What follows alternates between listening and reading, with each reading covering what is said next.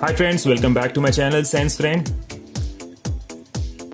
So today I have this Cadbury Oreo Cadbury dipped Oreo cookies and the price for this is 20 rupees. The net weight is 50 grams. So let's open it.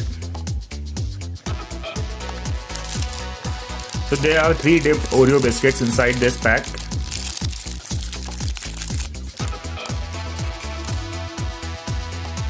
Oreo biscuit is coated with thick, thick Cadbury chocolate.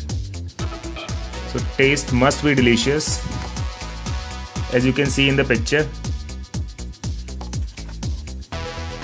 So let me taste it now.